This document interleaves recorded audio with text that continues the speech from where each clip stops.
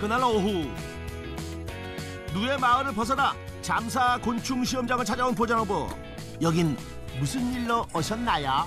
저희가 하우스 기반의 잠실이다 보니까요. 신기술이 있다라고 그래갖고 오늘 한번 보러 왔습니다. 예, 아유, 아유, 안녕하세요. 예. 여기 유마을 이장님, 우리 전라북도 잠사곤충 시험장 장장님. 안녕하세요. 예. 누 에 사육 틈틈이 양잡의 새로운 기술을 배우러 다니는 부자농부 저 비용으로 고효율을 얻기 위해 열심히 노력 중이랍니다. 보조 히터하고 그리고 저 습도 조절 장치만 하게 되면 약 한 2,500. 양잠은 더 이상 전통 산업이 아닙니다. 온습도가 자동으로 조절되는 그 장치가 설치되어 있는 곳에서 키운 누에고 네. 얘는 일반적인 누에 사육 시스템을 가지고 있는 곳에서 키운 곳인데 네. 사육 환경 하나로 이렇게 큰 차이가 납니다. 똑같은 날 사육을 했는데도 불구하고 벌써 이렇게 차이가 나는 거죠.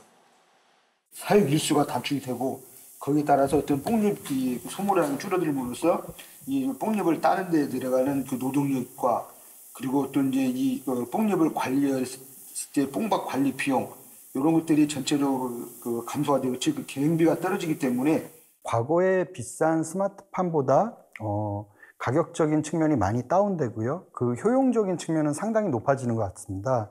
더군다나 실증 연구에 좋은 결과를 한번 보고 그거를 도입을 하면은 크게 도움이 될 것 같습니다. 앞으로 나아가기 위해 부자농부가 번 만큼 기술 투자를 선행하는 이유랍니다.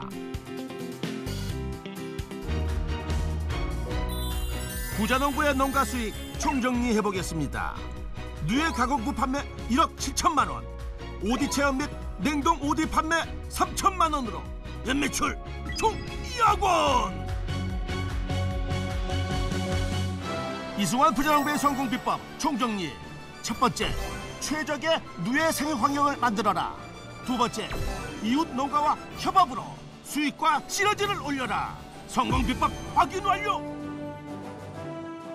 부족한 능력이지만 우리나라 양잠 농업에 도움이 되고 우리나라 양잠 농업의 우수성을 널리 알리는데 도움이 될 수 있는 사람이 되면 좋, 좋을 것 같고요. 저희가 건강하게 키운 누에를 드시고 음, 모든 분들이 건강하게 행복하게 어, 살았으면 좋겠습니다. 오로지 뽕잎만 먹고 사는 누에처럼 양잠 하나에 온 정성을 다하는 이승환 부자농부 그의 열정이 세계로 뻗어나기를 응원하겠습니다